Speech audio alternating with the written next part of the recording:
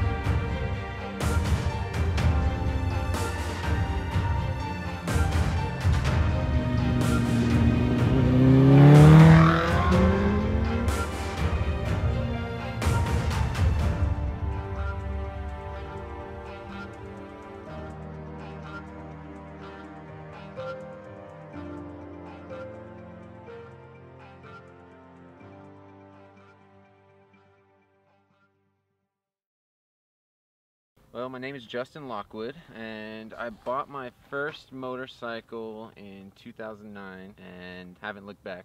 I sold my car and bought a bike and will probably never own a car again.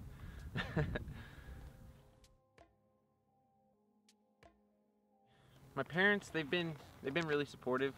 Uh, my mom, she lives on the East Coast, so she doesn't see other than like my Facebook videos and stuff that I throw up. But she, uh, when I was young, she told me she would disown me if I ever bought a motorcycle. And then uh, when I bought one, she she couldn't be happier, which was weird. uh, my dad can't wait to ride with me. He's like, I need to get a bike. I need to sell everything and get a bike so that way I can ride with you. I'm like, yeah, let's do it.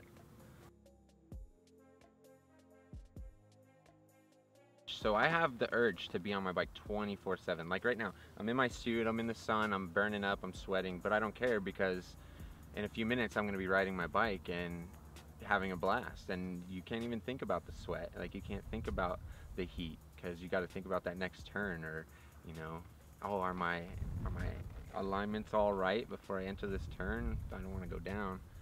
But my wife, she keeps me uh, really grounded when I'm out here.